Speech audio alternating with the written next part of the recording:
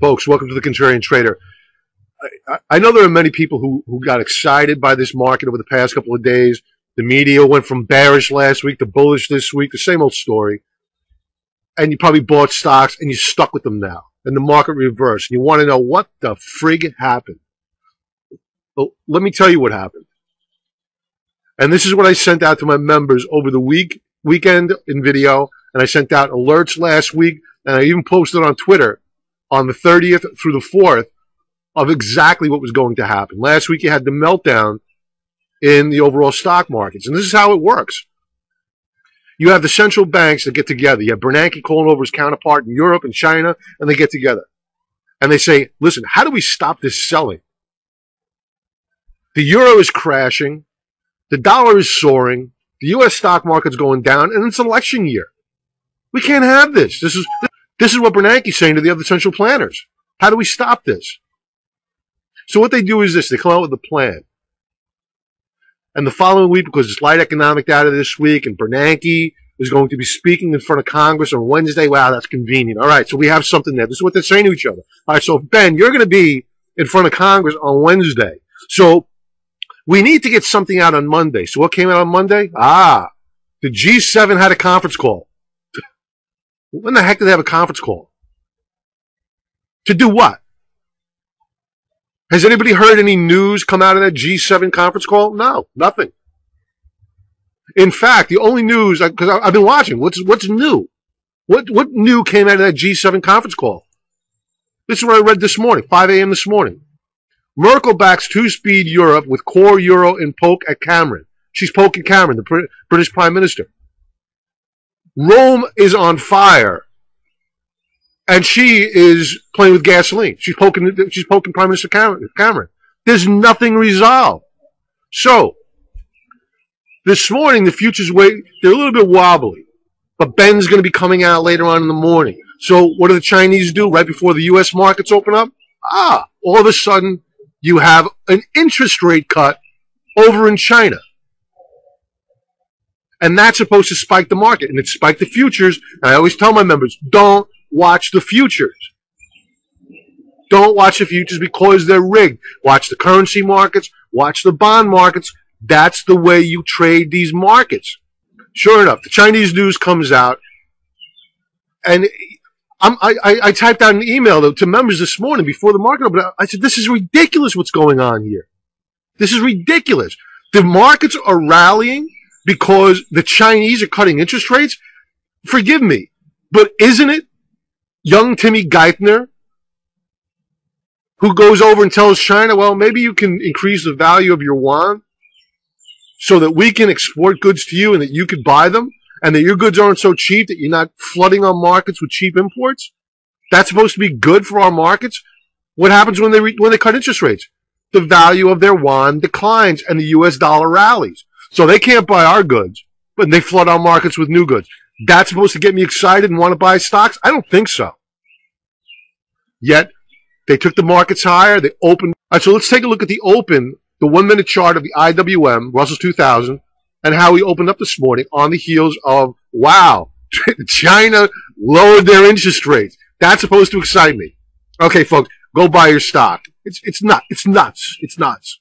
So they spike it open. And I look at this thing. You know, they open it up with an RSI. Where were we with the RSI? Oh, I, know, I think it was above 90. Yeah, 91, 98. Almost 92 on the RSI. And I didn't plan on adding to shorts until we got a key reversal. But I saw this, I saw the news, and I said, man, I cannot resist this short. So we opened up a short position on the IWM. And sure enough, the rest is history. Ben came out.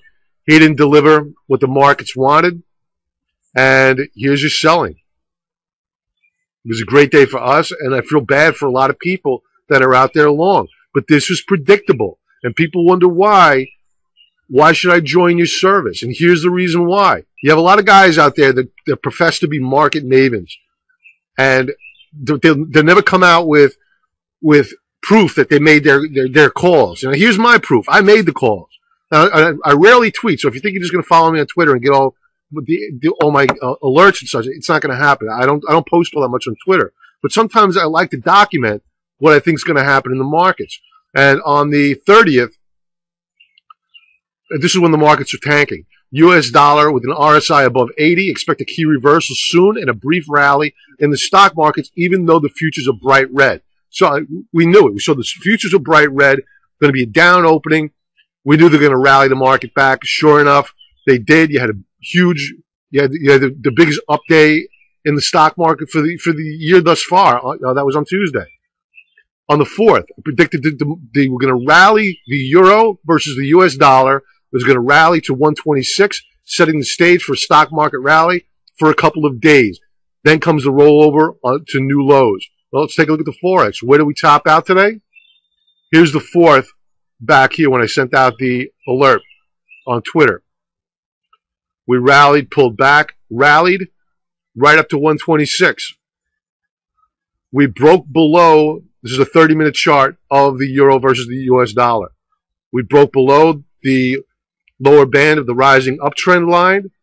That was indicator number one. We're going to begin to break down. Then you want to watch after you break down and you're going to get that rally, whether or not you can break out to new highs. We didn't break out to new highs. We were unable to even meet the previous high. We put in a new lower high. That's when we knew the coast was clear and we were going to get a key reversal on the market. 330, I sent out an alert to members. This is going to happen, and we got it. Let's break out to the. And please, while I'm still on this Twitter, sign up for my Twitter account, please. Follow me on Twitter, and uh, you'll get my alerts when I do send them out. So let's get let's pull back. You know, this, let's let's go over what I was telling my members what was going to happen. Last night I sent out, and this is Tuesday evening. I sent out commentary to my members. Watch out for the IWM because I opened up short positions on Tuesday and added on Wednesday. Watch out for the IWM because as goes the IWM, so goes the markets. You had a two and a half percent rally on Tuesday, yet take a look at the volume. The volume came in only slightly higher than Monday. What does that tell you? Between the volume and this gap higher, it told you that this was pure short covering. Pure. And it can only last so long. Add to that fact that you have the 50 day moving average that is rapidly, rapidly closing in on the 150 day moving average, that's going to set this market up for a technical breakdown. And you need to be short of this market.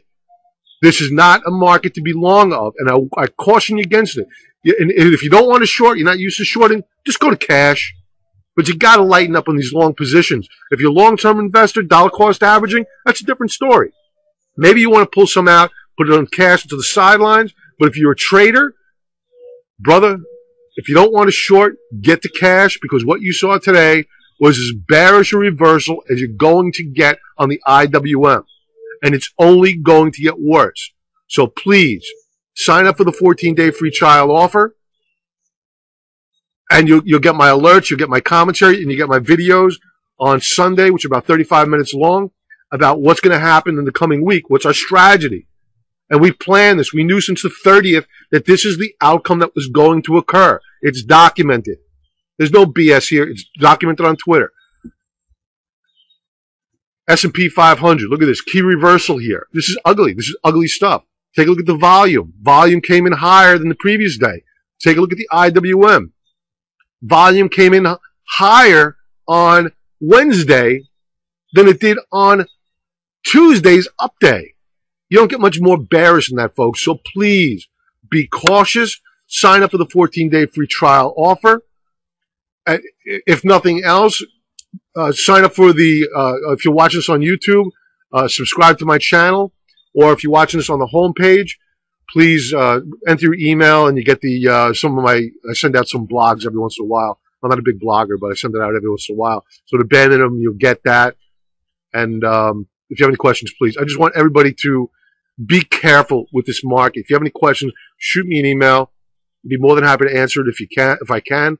And please sign up to uh, for, to follow me on Twitter as well. Everybody, please be careful. Don't believe these thugs in the media. Don't believe these thugs in Washington. And don't believe these thugs on Wall Street. It's absolutely corrupt. If you think it's corrupt, it is corrupt. That's why you should sign up for the 14 day free trial offer. Look forward to speaking to you. Everybody have a great, great Friday. Have a great, great weekend. Take care, folks. Bye bye.